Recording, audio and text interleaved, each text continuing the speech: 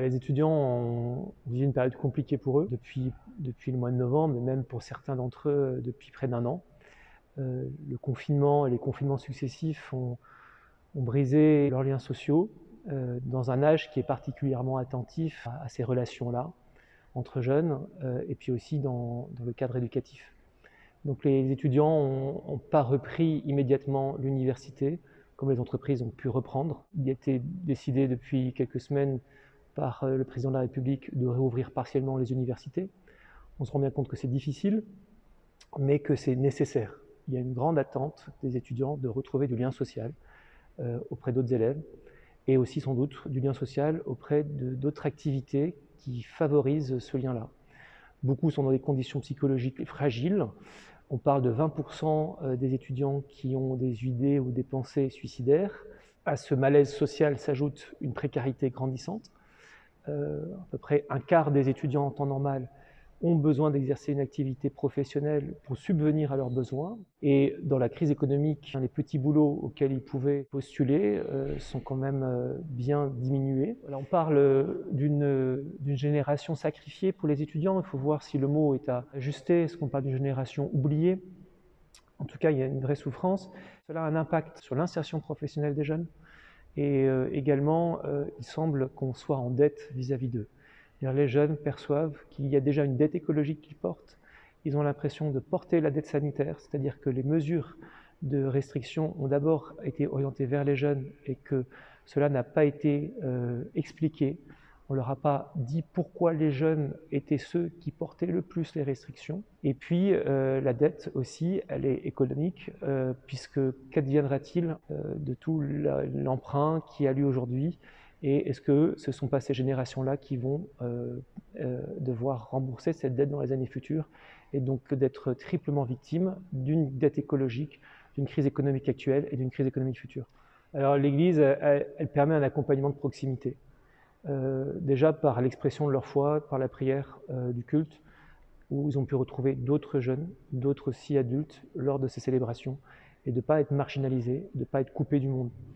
Euh, donc là, cette capacité de prière ensemble, elle les a soutenus.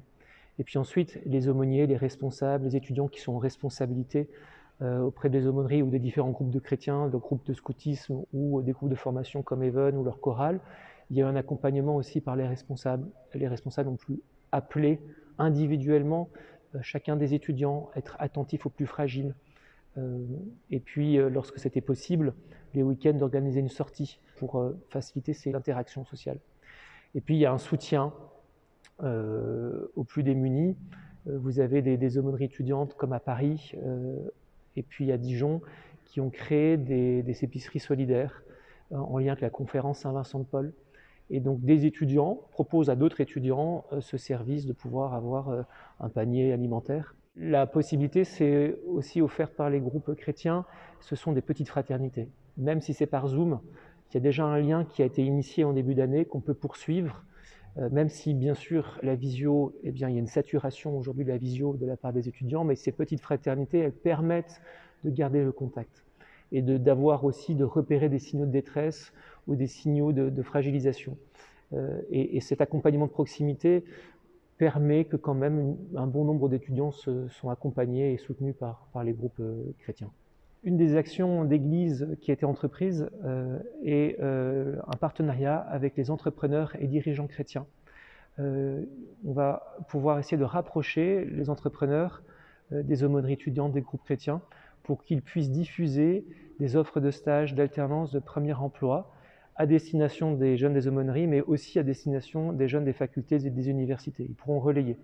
Euh, euh, ce soutien intergénérationnel est important euh, et on a pu avoir une très belle rencontre avec le Bureau national des entrepreneurs et dirigeants chrétiens et des étudiants du, Bureau national Ecclesia Campus et, de Chrétiens en Grande École qui ont permis ce partenariat et qui va pouvoir se diffuser dans, les jours à venir dans, dans les aumôneries. On a pu voir que de nombreux sondages ont été publiés au début janvier, au moment où cette crise naissait.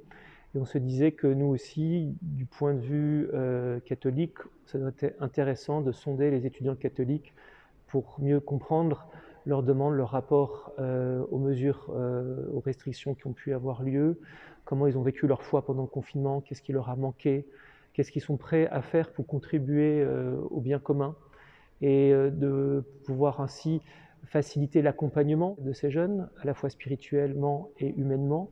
Et puis aussi, ça peut nous aider aussi dans, les relations avec les, dans les, avec les institutions publiques, qu'elles soient universitaires ou, autres, euh, pour euh, avoir, euh, se faire un peu leur écho également dans nos discussions habituelles. On peut répondre au questionnaire jusqu'au dimanche 7 février.